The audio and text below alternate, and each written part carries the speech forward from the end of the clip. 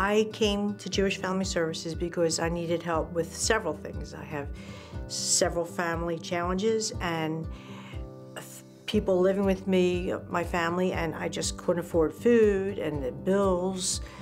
It was just piling up over my head and I couldn't afford anything. I was just drowning in debt. In the winter, it was very cold and I had to have the heat up having my four-year-old granddaughter living with me and my daughter. For myself, I wouldn't bother, but for her, I had to make sure it stayed warm.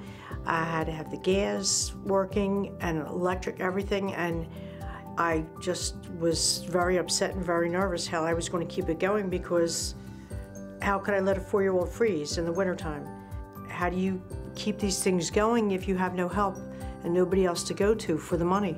In order to save money because I couldn't pay the utilities, I had to forego paying uh, car payments, car insurance, um, gas. I had to get a second job, and that still wasn't enough.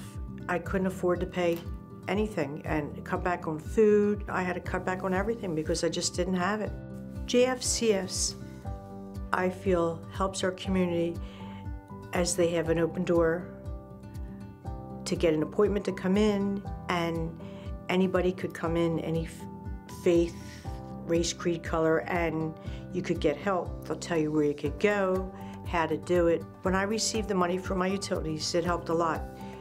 I, they gave me a nice amount and it was made me able to pay the other bills more on time and get back on track. Even though it took a little time, it was a big relief. I was just so happy. It saved my life.